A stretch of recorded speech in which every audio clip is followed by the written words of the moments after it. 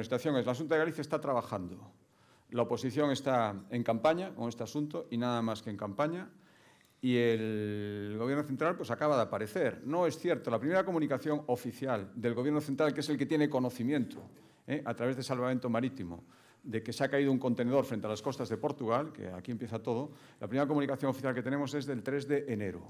Ayer, ¿eh? 7 de enero, la vicepresidenta Rivera, para ponerse a disposición. Ayer, 7 de enero. Hombre, si nos avisaron desde el 20, esa llamada el 7 de enero.